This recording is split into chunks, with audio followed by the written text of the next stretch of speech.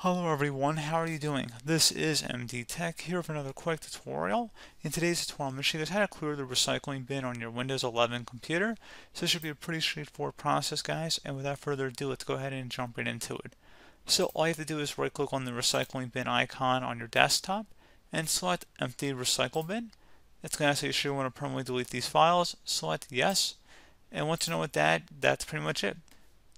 So all you have to do is right click on the recycling bin icon and then select empty recycling bin. Are you sure you want to permanently delete this file or these files depending on how many files are in the recycling bin?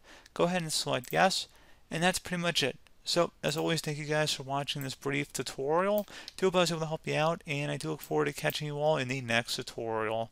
Goodbye.